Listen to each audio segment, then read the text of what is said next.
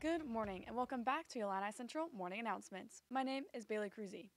ICHS Poms workshops are from April 22nd to the 25th from 3 to 5 p.m.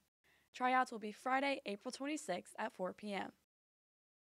Interact Club will meet in room 4 during lunch on Friday, April 19th.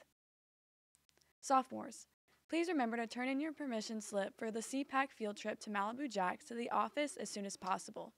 Mr. Kloba has sent a reminder email to stu- students who have not turned theirs in, so check your email if you haven't done so yet. If you do not do this, you will not be able to go. 2024 Mason City Stingray Swing, Swim Team signups take place on Saturday, May 11th from 1 to 3 p.m. You must be able to swim the length of the pool. If you can't make it to signups, contact one of the coaches. You can find their number on the post located on the website. Today's lunch is fish fillet or hamburger.